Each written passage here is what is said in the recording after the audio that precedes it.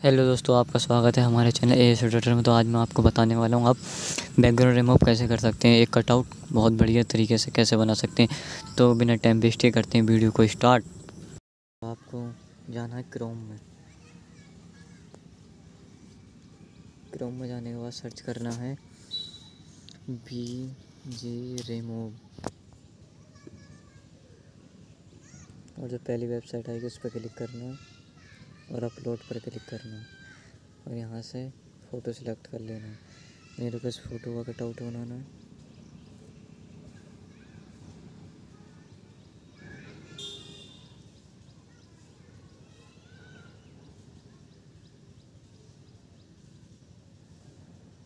आप देख सकते हैं इसने कुछ ही सेकंड में बहुत अच्छे तरीके से रिमूव कर दिया तो यहाँ से डाउनलोड कर ले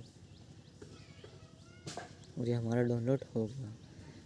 तो आप भी कुछ इस तरीके से कुछ ही सेकंड में कटआउट बना सकते हैं और बहुत आसानी से